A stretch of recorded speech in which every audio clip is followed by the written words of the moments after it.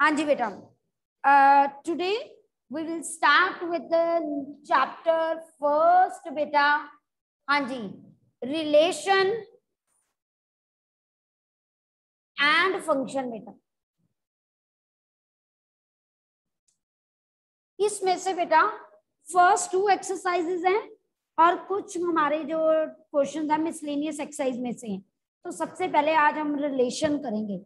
Relation होता क्या है? ये हमने प्लस वन में स्टडी किया हुआ है। अगर आपको याद हो रिलेशन बेसिकली सबसेट होता है कार्टीजन प्रोडक्ट हमने प्लस वन में ये स्टडी किया था।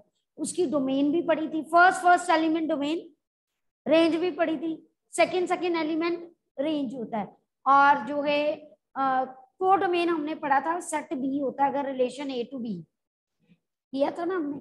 अब हमने जो बेसिकली स्टडी करना है ना बेटा टाइप ऑफ़ रिलेशंस वो प्लस टू में स्टडी करना अब टाइप ऑफ़ रिलेशन में थ्री टाइप्स ऑफ़ रिलेशन होते हैं बेटा।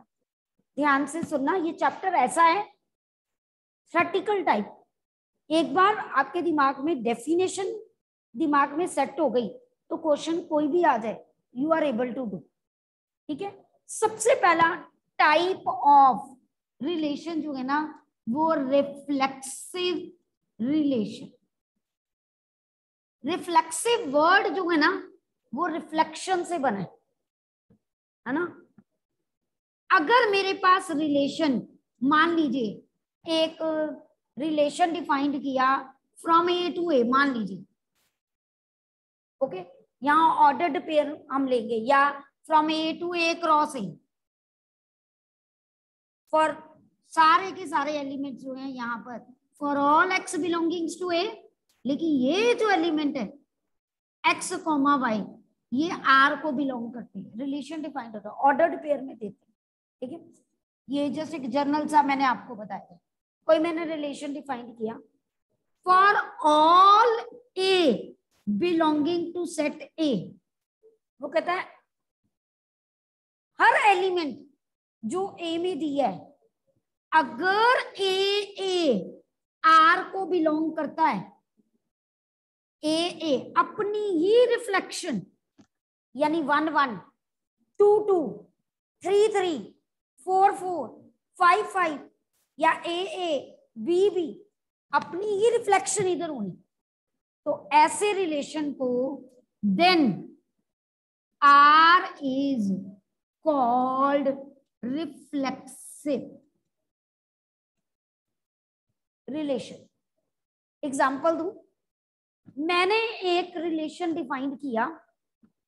आर सच दैट उसने कहा एक्स वाई इसमें एलिमेंट्स हैं।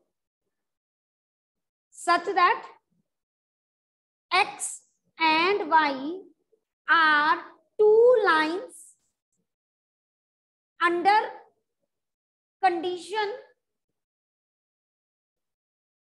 x parallel to y. X और y क्या है? लाइंस है. और कैसे? कि x जो है, वो पैरेलल टू y है. ये दो लाइंस में रिलेशन सेट कर दिया अब, अगर मैं यहाँ पर बात करूँ, ध्यान से देखना। ए ए मैंने कोई एक लाइन ली? उस रिलेशन में से। ठीक है? वो एक्स लाइन ले ली। एक्स एक्स आना चाहिए ना। यानी वो कंडीशन सेटिस्फाई करनी चाहिए। एक्स पैरेलल टू एक्स हर लाइन अपने आप में ही, अपने आप से ही पार्लर होती है। अपने आप को ही पार्लर होती है। ये ट्रू है ना? तो that means R is reflexive relation but अगर मैं लिख देती कंडीशन ये आर लेती एक्स वाई लाइंस हैं। ठीक है? और मैं कहती कि x परपेंडिकुलर टू y हर लाइन अपने आप पे परपेंडिकुलर हो सकती कभी नहीं होती। R इज़ नॉट रिफ्लेक्सिव एक और कहती relation r x y element है। X डिवाइड्स y या y डिवाइड्स x ले लेते चलो। वाई डिवाइड एक्स ठीक है? वाई डिवाइड एक्स मतलब वाई डिवाइड करता है। यानी जब डिवाइड करें तो वो नेचुरल नंबर आता है। तो एक्स एक्स लूँगी। एक्स डिवाइड एक्स करता क्या नहीं करता? हर नंबर अपने आप को डिवाइड करता है। Is this R is reflexive और नॉट यस और रिलेशन लू देखिए, मेरे पास आर रिलेशन है x y such that x less than equal to y square अब एक्स एक्स लेना ना। X less than equal to x square होता है कि नहीं होता? ट्रू है? फॉर ऑल कोई ऐसा कंडीशन तो नहीं है जिसपे ये ट्रू नहीं होता? अगर एक्स और वाई रियल नंबर है, मैंने एक्स लिया one by two one by two less than equal to, one by two का स्केयर, वो कितना हो गया? One by four. One by two कितना होता है? Point five. और वन बाय फोर कितना होता है? Point two five. क्या point two five? Point five से बड़ा है? नहीं। नहीं हुआ ना reflexive one to natural number के लिए ट्रू है। ठीक है ना? लेकिन वैसे ट्रू रियल नंबर के लिए ट्रू नहीं है। वहाँ बताया होगा x y belongs to real तो तब ये रिफ्लेक्सिव नहीं है। सबको क्लियर हो गया रिफ्लेक्सिव का मतलब। ऑनलाइन स्टूडेंट्स सबको क्लियर है रिफ्लेक्सिव का मीनिंग और should I repeat it Hani कोई बेटा रिस्पॉन्स नहीं, बाकी बच्चों से? फिर बता रही हूँ रिफ्लेक्सिव मतलब अपनी ही इमेज के लिए वो कंडीशन वो रिलेशन ट्रू होना। सिंपल सी बात। ठीक है ना? अब, अगर मैं यहाँ लिखती, x is equal to y for all real मैंने किसके लिए लेना है? एक्स एक्स अगर मैं देखू, x is equal to x true होता है कि नहीं? कोई भी नंबर होता है। That mean R is reflexive सबको समझ आई next type of relation second is symmetrical symmetry relation example यही लूँगी सब. Next is symmetric relation what does symmetric means word से ही क्लियर है. सिमिट्री जो इधर है और जो इधर है। सेम होना चाहिए। सिमिट्री करती है सिमिट लाइन ऑफ़ सिमिट यहाँ वो कहते हैं for all x y belongings to A जिस सेट पे रिलेशन डिफाइंड होता है। इफ़ एक्स वाई आर को बिलोंग करता है ना तो दैट मीन्स वाई एक्स भी आर को बिलोंग करे। ये गिवन है, हम मान के चलते हैं कि ये ट्रू है। और ये ट्रू प्रूफ करना होता है। तो हंड्रेड परसेंट वो रिलेशन क्या होगा? सिमिट्रिक होगा चलो इस पे देखते हैं? सबसे पहले लाइंस जो है पैरलर की बात करती हूँ। मैं मान के चली कि मैंने एक्स वाई दो लाइंस ली हैं। ठीक है? और मैंने मान के चला एक्स वाई अगर आर को बिलोंग करता है that means x parallel to y है ना? क्योंकि आर को बिलोंग कर रहा है। इफ़ वर्ड ये लिखा। मैं इसको y पैरलर टू x लिख सकती कोई प्रॉब्लम तो नहीं अगर x, y के पैरलर है तो y भी x के पैरलर जो पहले होता है वो पहले लिखते हैं। What does it means y comma x, किसको बिलोंग कर रहा है? आर को प्रूफ कर दिया ना, यहाँ लेके चले, दूसरा प्रूफ कर दिया। तो अपने आप वो क्या हो गया? सिमिट्रिक हो गया। यानी पोजीशन चेंज कर दें तो कोई फ़र्क नहीं पड़े। अच्छा परपेंडिकुलर वाला करें।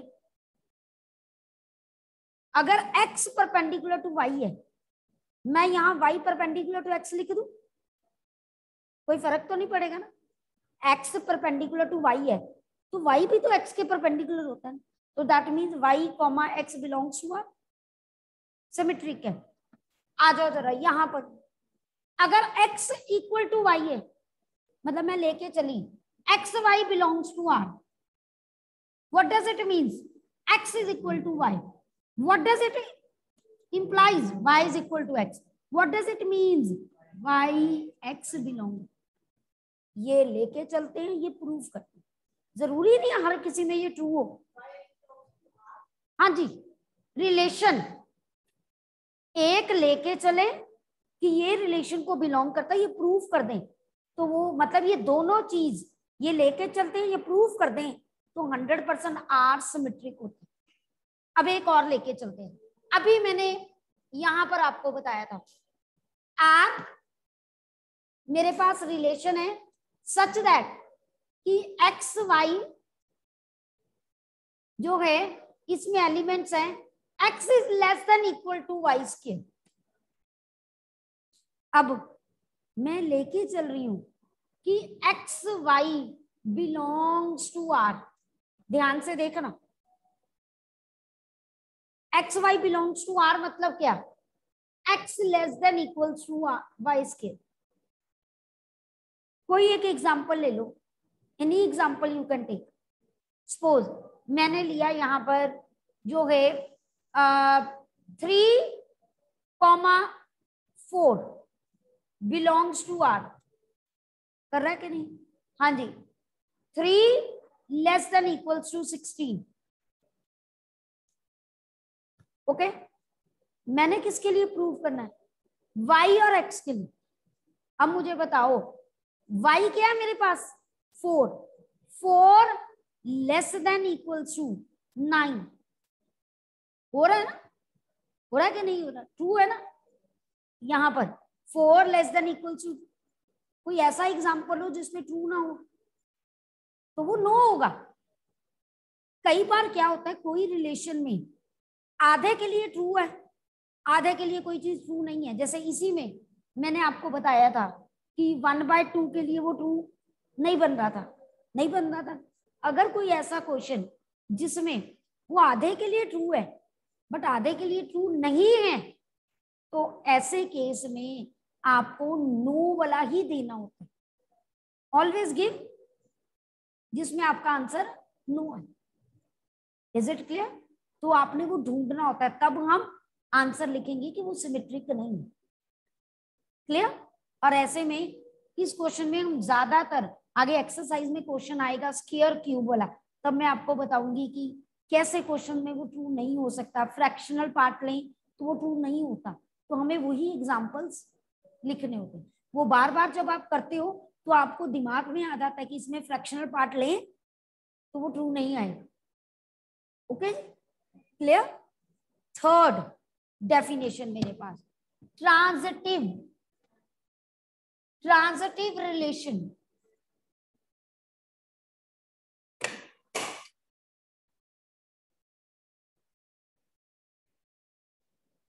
नेक्स्ट जो रिलेशन है third type of relation transitive relation अब ट्रांजिटिव वर्ड ही ट्रांसफ़र से बने। इसमें क्या होता है? For all x y z belongs to set A if x y y z अगर वो आर को बिलोंग करते हैं ना, ये सेम सेम है ना ट्रांसफ़र हो गया, इसको छोड़ दो। हमने प्रूफ करना है कि एक्स जेड भी आर को बिलोंग करे एग्ज़ाम्पल लो। एक्स वाई के पैरलर है। दो लाइंस है। वाई जेड के पैरलर है। तो क्या एक्स जेड के पैरलर होगी? होगी ना?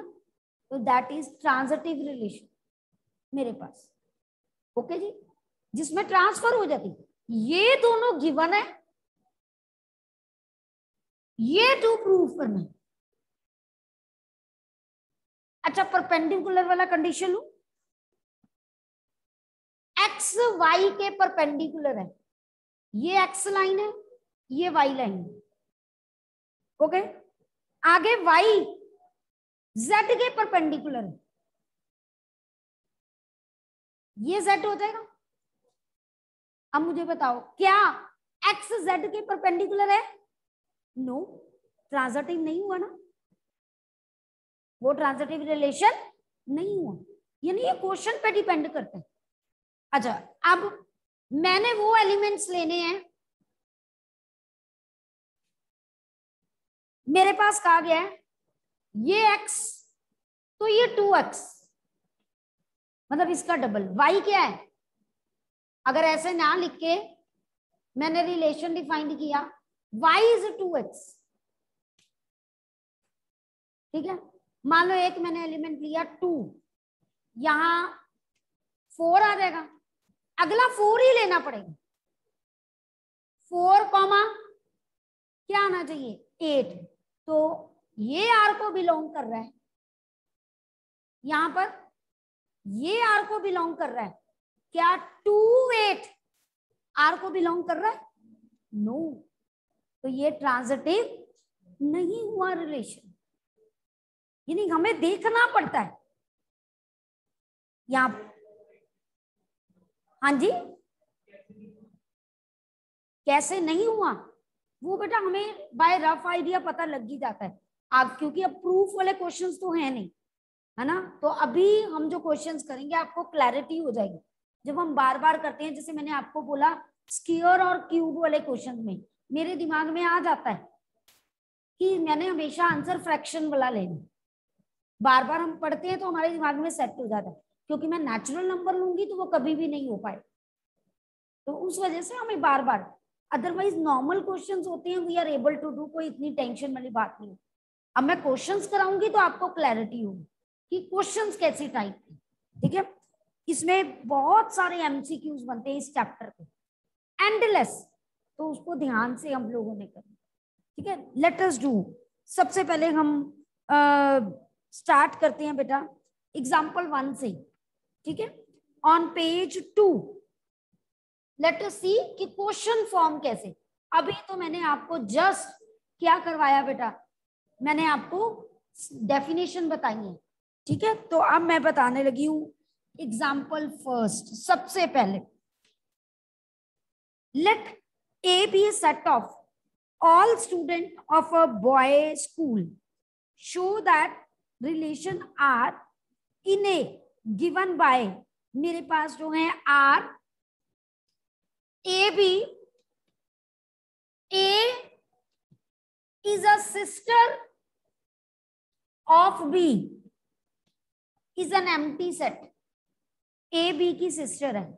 हंड्रेड परसेंट बेटा, अगर बॉय स्कूल है तो A must be a brother of A B ना. सिस्टर तो आ ही नहीं सकते, क्योंकि आपने जो रिलेशन लिया, एक बॉय स्कूल में सेट किया। तो उसमें सिस्टर वाला रिलेशन तो आ ही नहीं सकता। तो क्या होना चाहिए? यहाँ कोई एलिमेंट आएगा? इस रिलेशन में कोई एलिमेंट आएगा ही नहीं। आप हमने ऐसा लेना है, ए कोई बच्चा लिया। उसने कहा, ए सिस्टर है बी की। बी बॉय हो सकता है। ए बॉय है ना? बट सिस्टर बनाना है, ये पॉसिबल ही नहीं। तो दैट मीन्स इस रिलेशन में क्या आया? एम टी सेट ओके बात समझ आई? अब इसी का उसने सेकेंड पार्ट दिया हुआ है।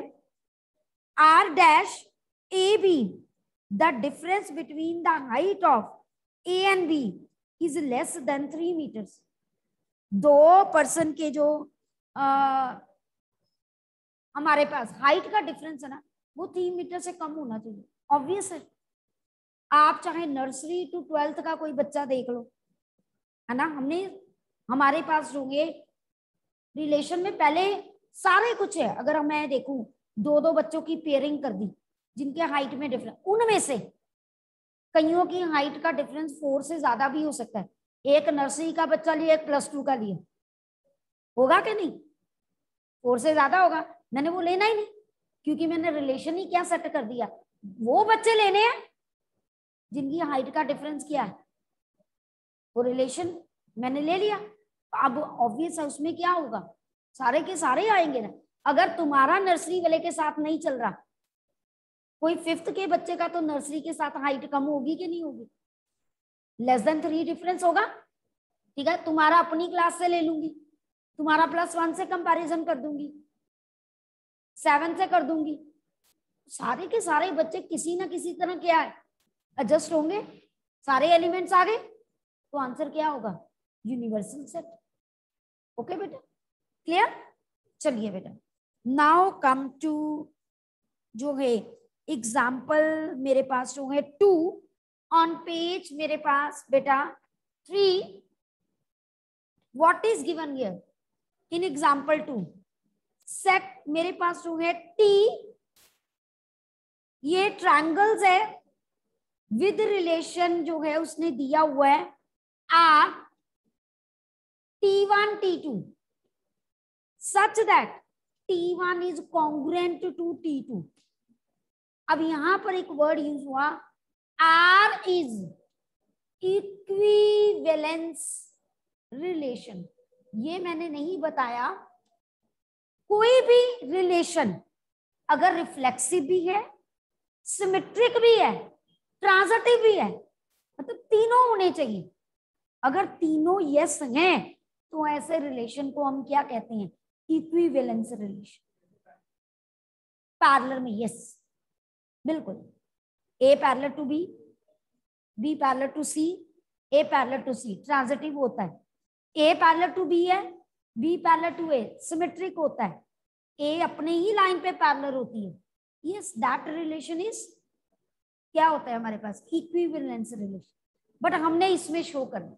अब देखो, आगे हम इस चैप्टर पे बच्चों को बहुत ध्यान से रिटर्न बहुत प्रैक्टिस कराते थे क्योंकि इस चैप्टर में प्रॉब्लम आती है प्रेजेंटेशन की। आगे बट अब प्रेजेंटेशन की कोई टेंशन ही ना। तो अब मैं आपको शॉर्टकट ही बताऊँगी कि हमने सोचना कैसे। लेट अस सी हाँ जी।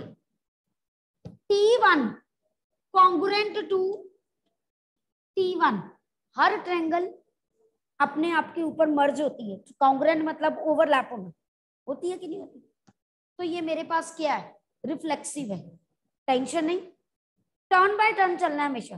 फिर सिमेट्रिक अगर T one congruent to T two है तो T two congruent to T one है।